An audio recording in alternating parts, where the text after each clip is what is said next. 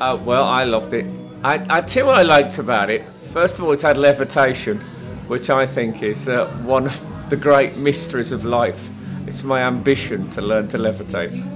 Uh, but it, it had a sort of a strange, timeless quality about the whole show. I felt like I could have seen that show, I don't know, in the 19th century, and it, and it was sort of dark and had a bit of gothic about it, which uh, very much appeals to me. And it was quite uh, sexy as well, if I can use the word sexy.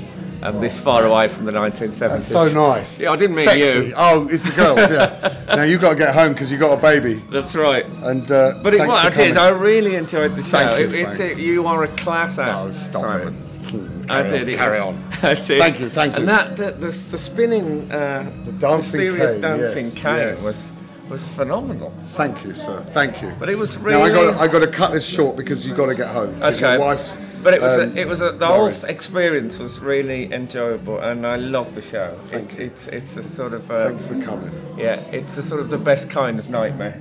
Good. That's great. Okay. And cut.